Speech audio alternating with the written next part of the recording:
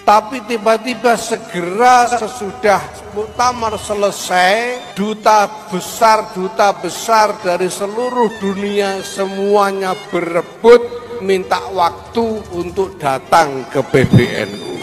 Sampai saya selama berhari-hari terpaksa menjadwalkan sehari dua dubes.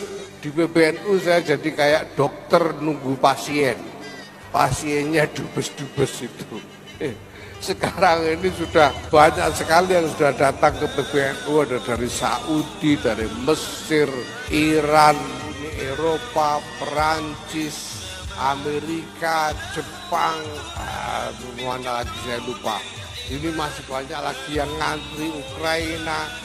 Ukraina mendesak-desak dari kemarin, tapi harus kita minta mundur sedikit karena kita punya kegiatan di Palembang itu. Begitu juga Rusia mendesak-desak minta bertemu, datang ke PBNU untuk bertemu. Begitu juga Cina, Kuwait, Qatar, Pakistan, Syria.